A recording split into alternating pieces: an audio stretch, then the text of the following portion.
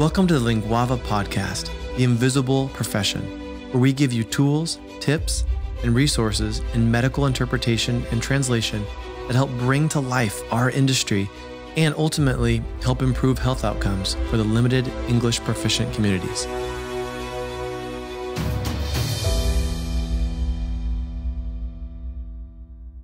Welcome to episode number five. Today I'm going to speak with someone who has a story of resilience, of determination, of hard work, and someone who has left uh, an incredible impact here on the, the Mayan community all throughout, throughout the U.S. and continues just to, to blaze the trail for, for Mayan interpreters, bringing awareness and raising the level of professionalism for, for Mayan interpreters and the Mayan community. I'm going to be interviewing today Carmelina Cadena. She is a Maya Acateco woman born in San Miguel, Acatan, um, Guatemala. And she had to grow up very, very fast, fleeing, fleeing Guatemala at a very young age uh, because of the war, coming here with nothing but the clothes on her back, with her family, without knowing the language, and being able to maneuver that with, with her family and eventually learning a total of nine that's right. I said nine languages, um, becoming a, a well well known Mayan interpreter, as well as someone who's been able to train hundreds of, of interpreters and continues to, to do so. So we're gonna today we're gonna unpack a little bit more about the Mayan culture. Uh, for us as medical providers, what are we? What should we be thinking about when working with the Mayan culture, and also for interpreters as well to, to best determine which which language is going to be to be best. So it is a complete honor and pleasure to have Carmelina today on the show with us. Carmelina, thank you so much for for joining us today. Welcome to the show. Well, good afternoon or good morning to wherever you're listening to.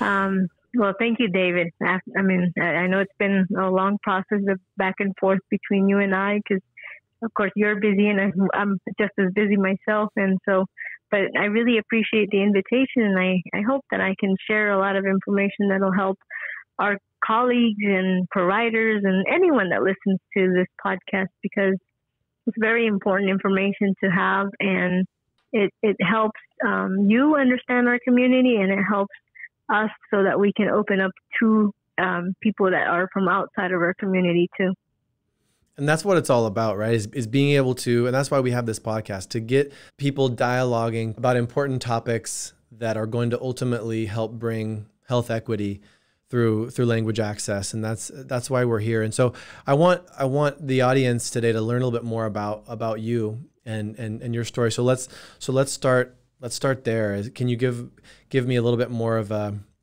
of a, of a background on on your your upbringing and, and your, your start there in, uh, in, in San Miguel Acatan.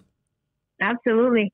Well, um, you know, one March and back in the 70s, I'm not going to say exactly the year because, you know, I'm trying to stay young. but um, the I was, you know, born into a normal uh, Acateco um, Mayan family.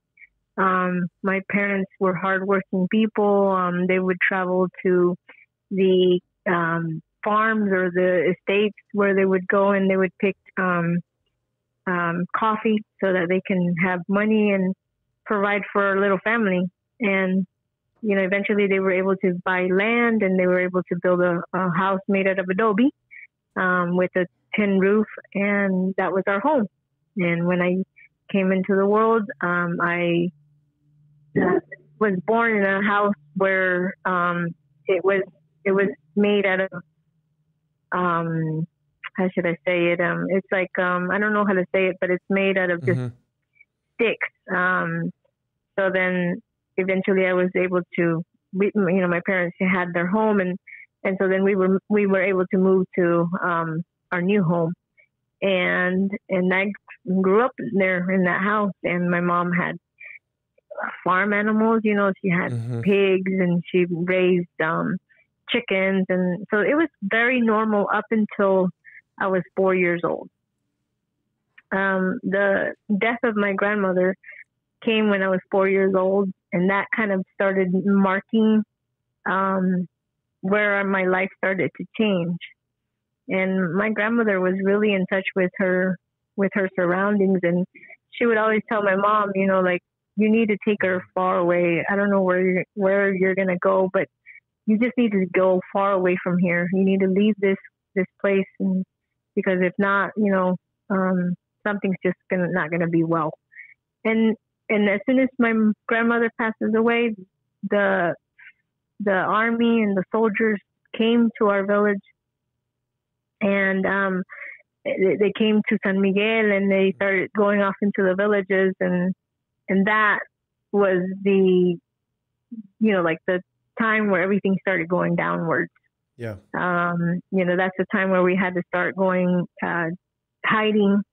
Um, we would hide under rocks, under in a cave, um, in the woods.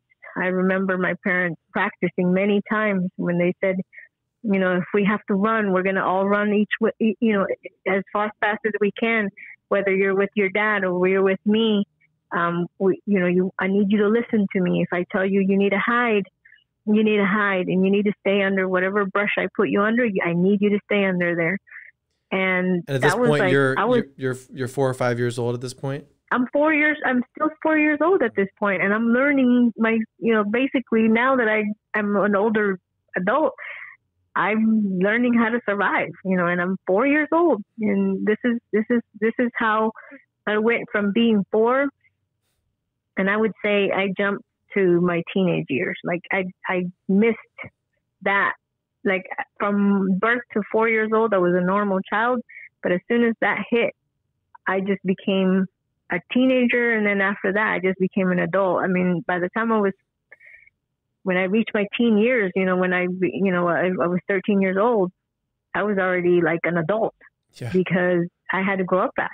You know, yeah. like I had to adapt to my environment, and I, I had to just you know, and as when we came to this country, I, I had to learn the language and I had to start interpreting for my mom. And so, you know, that was my upbringing in my country. And, and eventually we were really, um, you know, uh, we were blessed uh, is, is the correct word to say because we were able to get away. A right. lot of people didn't. A lot of people from my dad's family basically, I'm, you know, like in my dad's family, the only people that are left are my uh, his two uncles and my dad and me. That's that's that's the family. That's his immediate family. That's it. Yeah. That's it. Everybody else, uncles, aunts, um, cousins, everybody was killed during this war. And so, and the same thing happened on my mom's side. So like it was like they're dying here, they're dying here. We need to get away because this is not going to be safe for us. So you know, my my dad had to leave fast sooner um, because um, he was uh, kidnapped um, two times, and and when the he was able to escape, the last time he was able to escape, he just left. Like, but they had already spoken, they had already made their plans, and they had already kind of like you know said, if we do get away, and if I have to leave, we can find each other here. I'll wait for you such and such time. If you don't find me, then just render me dead because you know you're never gonna find me and so that's how it happened. And you know, my my dad was gone; he was taken. And then my mom, then then they came to the house and they shot her at our house. We had already left, and um and so we we got away. And then the only thing that I remember is that my mom went back inside the house to just kind of open the pen where the pig was and to open mm-hmm. the doors where the chickens were, the coop, and just let them be. You know, like let, set them free the last thing she did was grab uh, a thermos of coffee and some um, some dried tortillas, and that was it. That's what we took on our journey to leave. Wow. That was it, and we left. And and when we, it took a while for us to to get out of our country, of course. Yeah. And eventually, we made it to the border between Guatemala and Mexico. We were able to cross over, and um, and we made it to Mexico. My parents were able to find each other, and then we started our journey to come to the United States. But all that, like, there's many months between all that, and so that's why I say, you know, like I grew up so fast because like. Yeah. One day, yeah. one day was not even a day. One day seemed like a month, and a week was like a year, and so it just went so quick. Yeah. Oh my gosh. And then so you're you get to the United States. You're you're, you're seven years old, and and where where did you um, arrive to initially? We um we came to uh, Nogales, Arizona, Mm-hmm. and after so many, I mean, it wasn't the first time that we came to this country, and, and we we all know that all immigrants have a different story, and unfortunately, mine wasn't. I mean, I wish I could say, yeah, they stamped my visa, and I was able to come to this country like just like anyone, you know, like that can fly to this country. My situation is not that, and I hope nobody judges me because of that. But it, you know, we came, uh, we tried to come a couple of times, and it didn't happen. We we just didn't make it. One time we were left for dead in the uh, Sonorita, the Sonoran Desert, in a place called Sonorita. It was close to the to, so close to um, Phoenix. I mean, not Phoenix, Tucson. I'm sorry, um, near Ajo. I know that. I know that much. That's they. They we walked through that, and the person that was bringing us said, "We're, you know, I'm gonna, I'll be back." They didn't come back three days later. My father was like, "No, we need a, we need, we, we can't be here." So um, started looking for a way out. We walked all the way back to Mexico, and then, um, but this time, my mom's like, "You know what? I'm done. Like, we're not gonna do this anymore. Yeah. We're gonna cross. We're gonna, we we know our way around." Um, my parents have been traveling in our within my country, had been traveling within my country many years with no GPS, no map, maps, no nothing. I mean, they were able to get around. Yeah. So she's like, "That's there's there's no difference. We're going north. I mean, the United States is north, and that's why we call it El Norte, you know. and so then, you know, we're going north, and that's it. You know, we're gonna make it. Um, and then we just we just started our journey, and we made it.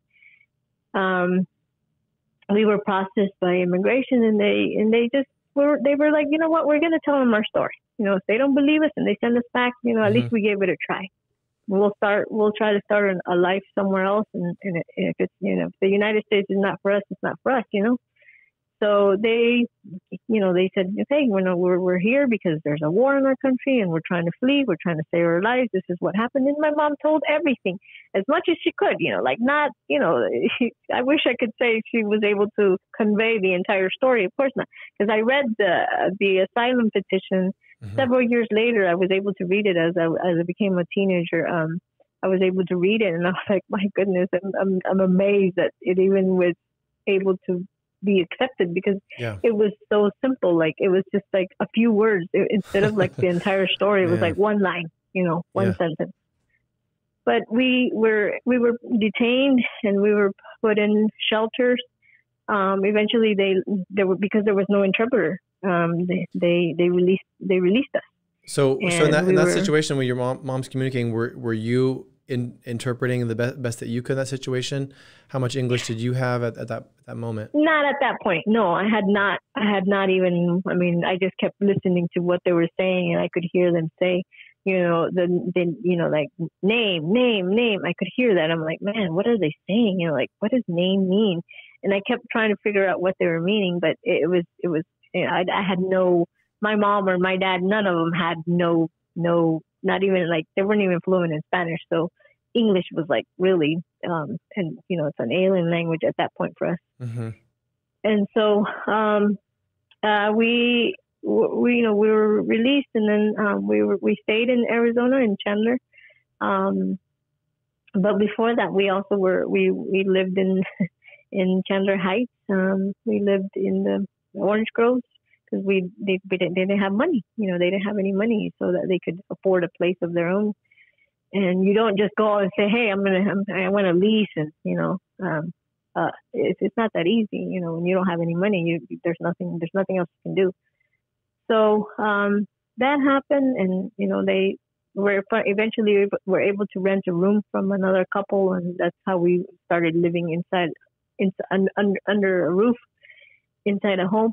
And then, um, and, and then after that, that's when I, that, they, they found me because I was going to the, to the fields with my parents and um, someone um, was like, "No, your your daughter needs to be in school. Like this is the United States. Mhm. Like uh, you you have to put your children in school here." And so then my parents were like, "Okay, you know, we're not going to put you in school because they were afraid that if they put me in school and they got deported, what would happen? I was going to be in school, right? Who was going to take care of me? Where was I going to go? What was going to happen to me?" So they were all worried about the, all these things that were happening. So instead of putting me in school, they they just would tell me, "Stay in the car." You know, the only time you need to get out is when you have to go to the bathroom. That's it. And I would stay in the car all day in the hot Amer- Yeah. uh, Arizona sun. Oh my and gosh. um, yeah. and I did that for a while, and then and eventually they just people would keep telling them, "You need to put her in school. You need to put her in school." So eventually they they and when they saw that they weren't being caught and they weren't going to get deported or nothing was going to happen to them immediately, that's when they said, "Okay, you know, we're going to go ahead and put her in school." And this was like after the summer because I remember it was August when I went when I started kindergarten, and um and so then uh, I uh, was able to go into kindergarten about a few, a few months later in. I started learning my numbers, my letters, and um, I had a really, I made really good friends. Um, there was this, I wish I could remember her name. I, I could barely remember her face, but she was so wonderful. Um, Hmm. I remember um, meeting her, and she had um, Skittles, and she would she would give me Skittles every time I said the color right. That was a great you, motivator. you remember you remember that? I love that. Yeah. I was like, yes. And so it's like, what color is this? I'm like, red.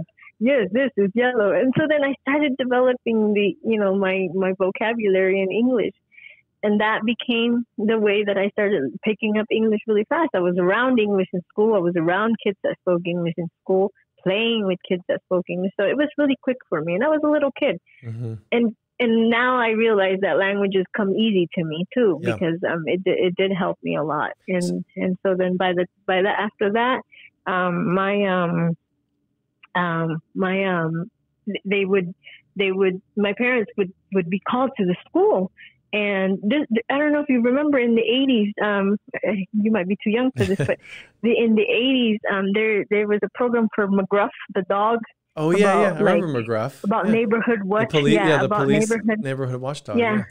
yeah. And so then they would have meetings and they would invite us to go. And my parents had no idea what was going on, but we would go. We would go because they would give away cookies and coffee.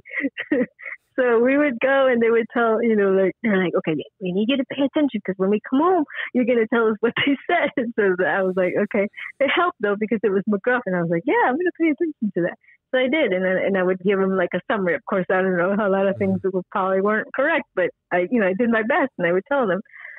And um, so that's how I started developing and started becoming an interpreter for my mom. Um, also, whenever they would call her for parent-teacher meetings at the school, she Mhm. would say, you know, tetsi, which means what, what what is what are they saying? What's happening? Like tetsi, tetsi. And so I would tell her, I would say, she's saying this, and she's saying I'm an excellent student. so I, I might have, you know, embellished a little Yeah. bit, Yeah, but understandable. but um, And what- and what- what languages- what what languages did did your your, your parents speak and and and remind me how many languages you, Aca- you speak currently? Acateco. hmm Um, my my we were always born into uh, the Acateco community, and um, so my parents, both of them, speak that. My dad does speak another language because he did move into an area where they speak another language, and he's picked it up, and that's why I've been able to practice with him. Um, but myself, myself, um, I speak four of the indigenous languages. I don't speak them fluently. Um, Which which languages? I um, I speak uh, Kanjobal, hmm um, uh, of course, is my first language, and then I speak Popti, and from a, on a certain area, and then um, which is where my dad lives now, and um, and um, also Chuj, um, also a certain area because it's closer to where I I'm from, and I've always been around. Uh, whenever we would work, um, we always were around that community also, so that's that's why it was easy for me Yeah. to pick it up. And then of course you speak Spanish and, and English. So so a total of six languages, right? I would say nine, Oh. um, because um, I do love French and I I love Okay. Portuguese also. But but I mean I understand more than I can speak back, and that's why I say um, a lot of the languages I'm I'm not fluent in because I can understand them a lot, but like just being able to speak back enough is not is is just barely just to get by- by. It's not going to be like fluent, like me and ha- having a Yeah. like a conversation like you and I right now in, in Portuguese. I might be able to Yeah. answer one or two things, but not everything. Yeah, yeah. I speak I speak a little bit a little bit of Portuguese too. My my wife tell, says that I I don't speak that Portuguese well enough to say that, but you know, I, a little a little bit enough to get by. Oh, I mean, I can, I can get, I can get your name. I can get your like, how, Mhm. you know, how old you are. You know, are you married or you're not? Do you have children? Like, I, I can get through all that. That, but but once it gets heavier, I'm I'm not going to say I can understand it, but I can't I can't respond. Another question that I know is going to be really really valuable for for a lot of Spanish interpreters here in the United States, as well as as monolingual English only speaking providers here in the United States when working with working with the the Mayan community, right? As far as how to how to still provide health equity when the some of the languages they're they're not as familiar with and it's a culture that they're maybe not as familiar with. So my my question for you is what what are some of the, the, the basic information that that providers need to need to know about when working with and when requesting an interpreter so you can understand make sure they get the language right? They don't just assume that it's spanish. What what do they need to know medical providers need to know um, when working with uh, the Mayan community? Well um, my wish is that everybody would realize what you and i know because you and i are in, in the in the in in, in hospitals and around mm-hmm. interpretation all the time. So you and I know that Spanish and Mayan are different. Mm-hmm. But I'll be honest with you, I've had very educated people not know that. And so um, the number one thing is to, once the person tells you if they're not from Mexico, that they are from Guatemala, then understand that there are 22 indigenous Mayan indigenous languages spoken in Guatemala.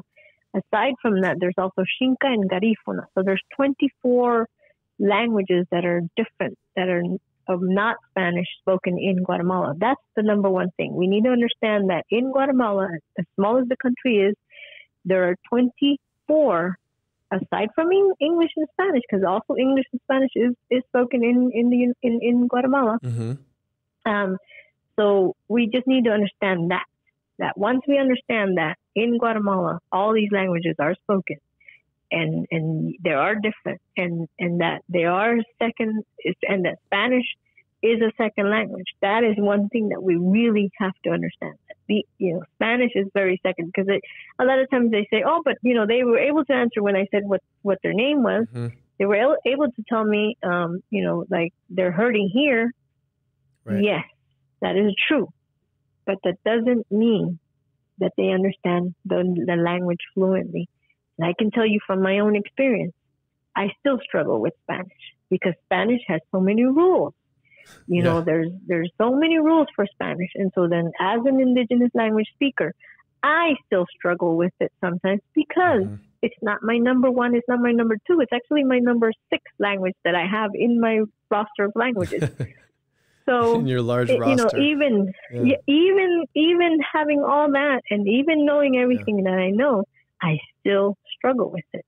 So that's one the number one thing that we need to understand. Just because I say I speak it, just because I say I right. understand it, it doesn't mean that I do it fluently. If you if you said something that was completely new to me, different to me, and I'm not an interpreter, I wouldn't know how to say it. I, I wouldn't know, mm-hmm. and it could mean something as simple as epidermis you know, mm-hmm. but but I don't know it. So because I don't know it, I'm gonna be lost, and I might say, yeah, I understand you, because I'm embarrassed to say I don't. But you know, that's one number one thing we need to understand. So the yeah. second thing that I would like people to understand is that so as soon as you find out that the person is from Guatemala and that they indeed speak an, an a Mayan language, um, then the work that needs to be done is to find out where they're from a lot of times uh, my my um, brothers and sisters don't know the name of our language, and also because the names of our languages are not the names that you hear. For example, Acateco is not Acateco to us. To us, Acateco is tie. That's it. And so then, if I say, if you say, you know, let's say David, you say to me, so okay, what language do you speak? And I say tie okay, DA. So then you come back to me, you know, the now the agency, mm-hmm. right? And yeah. you say this person said they spoke DA. And now, so then, the, so then, now you and I are kind of lost because okay, I really don't know where DA is from. You know, like I don't, I, I know, like let's say I don't know, you know, mm-hmm.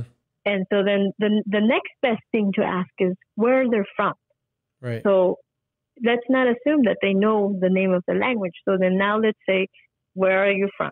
So once we have that, if the agency gets all their information correct, they will pinpoint the language right away within seconds. Not all, not everybody is like that. I understand that, and and that's why in you know um, smaller agencies like like mine, we focus on that. We really focus on that. We educate all the coordinators so that they know that once they say this person is from here, or even if they just ask their name, we kind of know right away because I've taught them that. Right. But that's something that I can't teach everybody. You know, not, not everybody's going to want to learn all that. It's a lot. It's a lot of information. So, number one, finding out persons where they're from. Number two, um, seeing if they at least know the name of what the language they speak.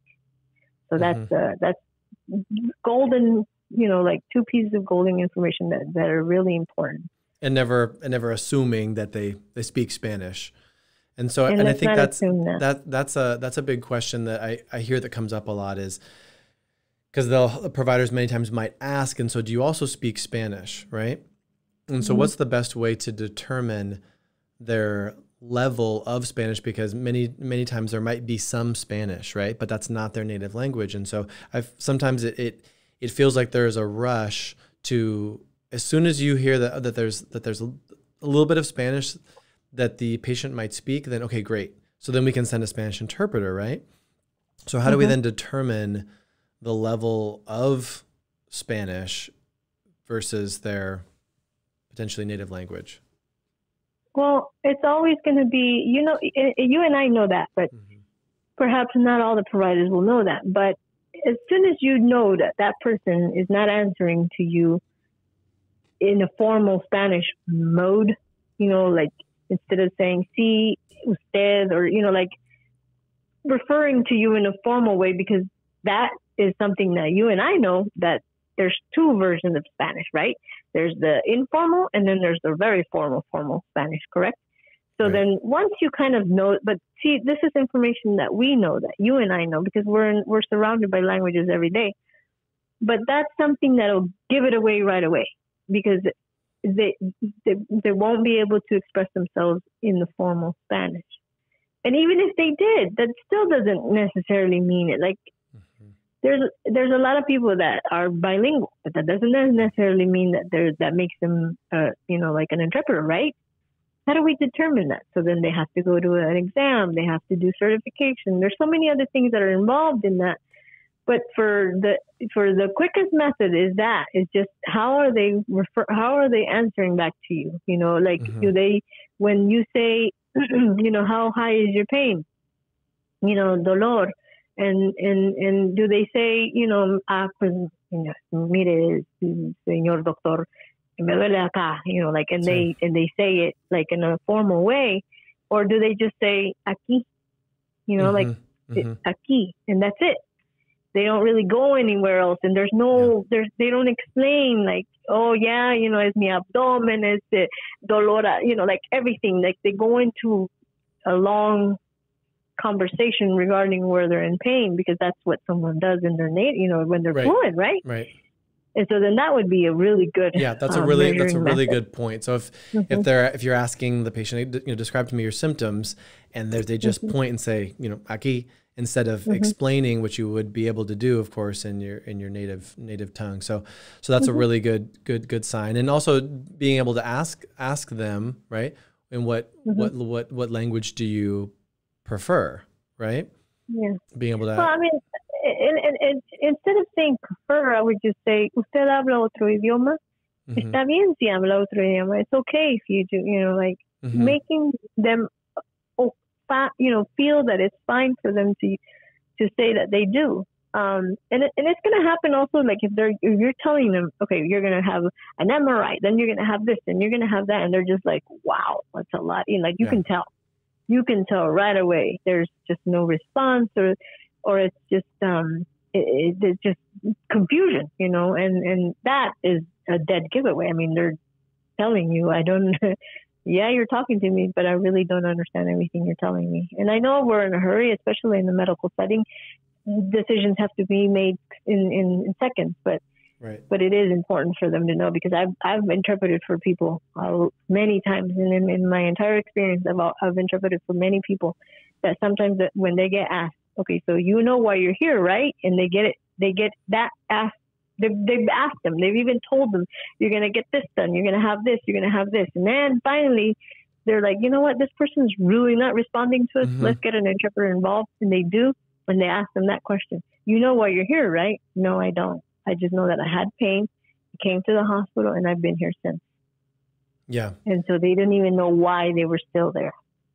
Yeah, and, and one of the things you you were touching on in that, that example, if the provider is giving a bunch of instructions like, okay, you're gonna go go to this department, then you're gonna go get an MRI, and then you're gonna take this this medication.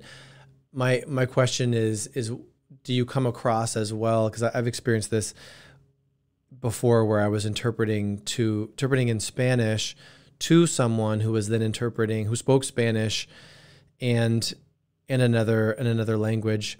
Um, I don't know if it was Kanjobal or which the other language was. I don't remember, but they were then interpreting that into the the, nat- the native language, and there was some words that didn't exist in the same way that they existed in Spanish, even. Yeah. So, well, yeah. I so mean, how often do you come so- across across that, and how do you how do you um, help again providers understand the the the differences there with with the language? Well, I mean, just just know that our languages are very old, right? Mhm. And and and and and and we have another colleague that I always speak to about this too, and um, she brings up a really good important point. point, and she tells me, you know, like when we were all colonized, right? Our basically our civilization or our environment at that point kind of just came to a standstill. And so then there was no more, there was, eh, you know, the, you, you were worried about surviving. You weren't worried about, you know, I need to learn this, I need to learn that, I need to know what this is for. We stayed in our own environment. Yeah. And so then when that happens, then, you know, there's no, like, computer is even hard to explain. MRI, you know, I've always Right. given this as a really good example. And it's true. I mean, like, there is no word for MRI, you know, like, you know, in Spanish there is, but in, in Mhm. our language, no. So then, you know, the way I describe, I have to describe it. I tell them you're, it's a machine that you're going to go into. That machine is then going to make some turns and it's going to go around you. And then it, whatever the area they're looking for, that's what they're going to take a picture of. Mhm. And they're going to, after that, then you will be leaving that machine. And then after that, they're going to give you, uh, you know, like if, if, if the provider is telling them that, then they're going to give you the, the, the results, right? But I have to tell them it's a machine that you go into Right. and then describe almost what the machine does. And that's what, that's where the education for interpreters comes in. Like, I have to know what an MRI does so that I can describe it. I have to know what a catheter is. I have Right. to know what it's used for. When is it used for? A G tube. All these, you know, all these things we have to know. Mhm. Not just know them because it's written and this is the definition. No, we have to see how it's done so that we can describe that.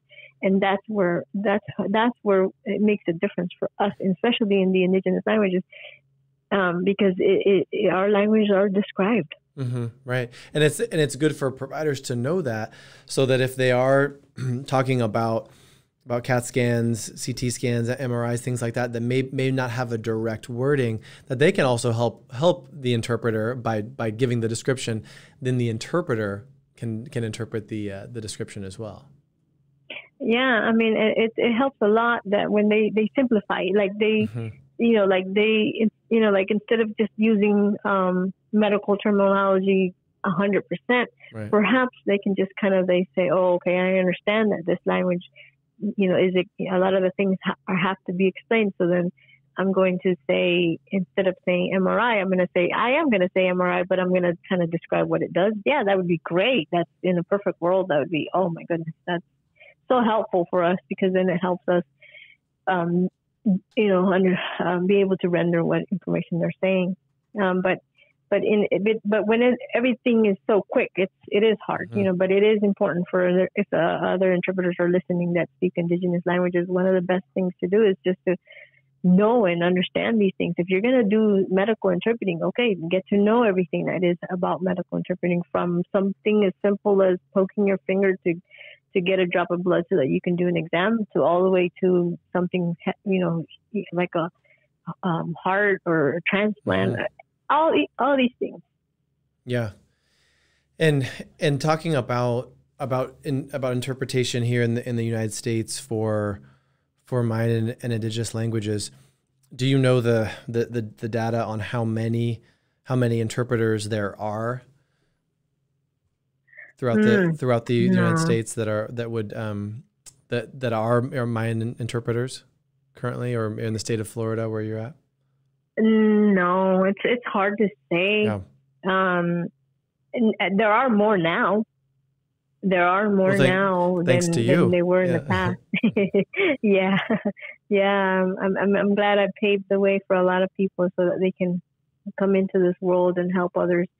Because um, when I started, of course, there was just very few of us, and and one of the people that mm-hmm. actually helped me into learn more about interpreting and everything, um, he passed away. So then, you know, like then there's that that kind of information and resource left mm-hmm. with him, you know. Mm-hmm. And so, um, but but yeah, I mean, we're I don't I can't I, I really can't answer that question, and, yeah. and, and, I don't want to give misinformation out sure. there. But I know that now there's more. And so there are a lot more people um, doing this kind of work. When I when I heard you speak, you know, a couple of again a couple of years ago in the Atlanta Interpreter Conference, you were talking about how you have helped pave pave the way for for so many Mayan language interpreters. And so I'd, I'd love for the for the audience to learn a little bit more about what what you have done specifically to help train interpreters and so that so that these patients do have access to professional medically trained interpreters in in their language. Um, can you talk us talk us through a little bit about what what you've been able to do there? Absolutely. Well, um, number one was you know having found founded a organization or an agency that provides those services, when I saw that there was a need and like and so many, I mean, and I'm not going to talk bad about anybody because mm-hmm. we're all we all have our specialties, right? Yep. But when you're dealing with indigenous languages and there's so many things involved with them, it is the it is best practice to get to know that. Get to know them. Don't just call me and say, I need a Mayan interpreter yeah, there's a lot of us, but which language is it? Where is where is this person from? Um, which you know which branch of the language do they speak? And with all the variants, and you know, like that's important information that everybody should. If you're gonna provide these languages, you please work on that because it is very important because it helps the patient or the whoever that it, you're providing interpretation for. It helps them a lot. And so that was the number one thing that I had to do is find, you know, like have a even you know we're we're still small and but the thing that I always focus on is that is to yeah we may be small but we want to provide the best you know like we want to get it right mm-hmm. and if we don't please feel free to tell me no it's not I need this. Okay so then we're going to work on that.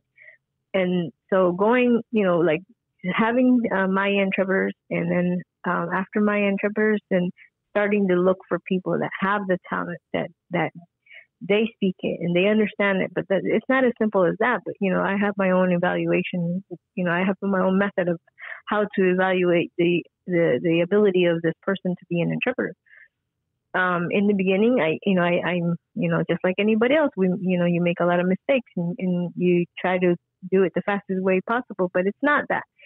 You know, then we we were able to then um, make it, you know, make changes and and then help more people so that they can now, you know, like now the ones that are in, in you know, working with us now they're they're completely, um, you know, taught and they and they they have to continue um, getting trained. We we have gone as far as hiring people and having them um, teach and then you know like an entire weekend or an entire week. Um, we you know we've done things like that so that they can have the training that they need because and a you, lot of and people your your organization provides that that training correct? Yeah. yeah yeah. I mean, like, um, you know, let's say I'll get a group of 20 interpreters and, um, and, and, and I'll, and I'll tell them, you know, cause I'm going to need a week of your time. You're, they're going, you're going to be in, in front of a, a, a, someone from eight until five and you're going to learn all the, everything that is important. Ethics, number one. That's the number one mm-hmm. thing I always go with. Ethics, ethics, ethics, ethics, protocol. Everything that you need to know as an interpreter that's the number you know like those are the things that we focus on when when you when you start but then after that you know that it starts branching out then new diabetes education um, you know, eh, you know everything that has to do with um, interpreting. We we we we have hired people so that they can teach our um, with technology now. You know, like you can it can be done over Zoom, and the, the trainer can be in California, and the all the interpreters can be yeah. in in their own city and so then you know it's it's possible. It just it, it just takes time. And you have to have a passion for it. You have to really want to get it right so that you can do that. Yeah. Well and it's it's clear that you have that that passion for for educating for for training for helping helping increase the the pool of uh, of Mayan language in, in interpreters. And um, seeing seeing the numbers of, of individuals that you've you've personally helped train is is remarkable. And it's um, it's helping so many so many people and really helping in, improve uh, health equity throughout throughout the country. So we're grateful grateful for what you're doing and and, want to want to encourage others to um, to reach out to you for for those those training opportunities. Can you share with us a little bit more about what those training opportunities might look like if someone was wanting to get involved with you?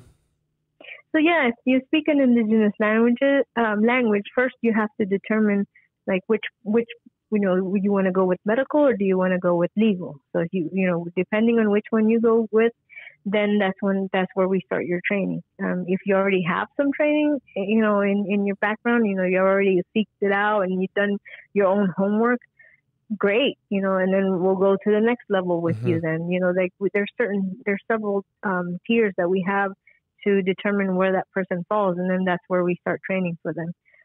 Um, one of the one of my success stories is um, is a young lady that is you know she speaks Zacateco, mm-hmm. and I met her because she was helping uh, in interpret for her grandfather, and I was like, wow, you know, like I you know I really I really commend you for doing this. Uh, I know you're really young. She was still in high school this, this at this time, and um, she um, and I told her I said never forget our language. Keep going with it. Mm. And so then when she turned um, 18, she looked me up and mm. I kind of started um, helping her and kind of guiding her and I and I started inviting her to some of the trainings that we did in within my interpreters. But then I also told her about other organizations that are holding trainings also. And she did it. And now she's one of our really best um, you know, Zacateco interpreters, wow. and she speaks directly into English, and that's the one, you know, most wonderful thing mm. to find. And and so there are people like that. There's a lot of people out there that will be listening to this podcast, and that they have that um, dream that they mm-hmm. want to help their community. So this is this is one of the ways that you can. Excellent. Well, we'll definitely provide your your information as well for um, for your company, Maya Interpreters, so that people that are wanting to get that type of training can can reach out out to you directly. Um, another question question for you, Carmelina, is you've your story is so so powerful for for all of us who are listening, and your story of resilience and and determination to you know against all odds do what you've you've been able to do what is it that today you know gets you up out of bed in the morning and, and what's the impact that you're you're wanting to leave the the world i i want i want someone and it, it, it makes me um it breaks my heart to hear you know like i feel good listening to what you're saying mm-hmm. um but what i want to leave when i when i want to leave the future generation of indigenous children that are growing up here and I also have something online um, that we that I um, um, helped and was an uh, editor slash um, advisor on um, um, a toolkit for teachers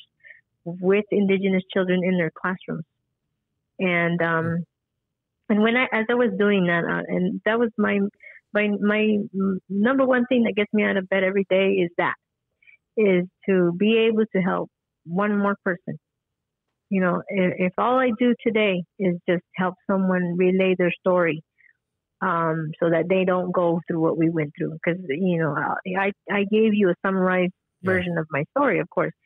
There's so much more behind that. Yeah. You know, I, there's so much more, so many more things I that I saw. That. Yeah.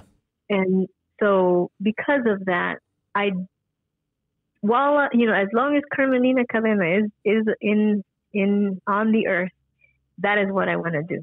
I get up every morning so that we, one more person, one more um, victim, one more, whatever your situation is, I want to be able to have someone that can give and tell your story for you. You know, you tell your story, but I'm saying like re, you know relay it relay it into another language so that the lawyer or the doctor or the judge or the police officer or whoever it is that you're mm-hmm. in front of so they can understand why you're going through that. Everyone has a story, but not everyone has the opportunity to be able to be understood in their own language about their story, to tell their story. Yeah. So that's what gets me out of bed every morning.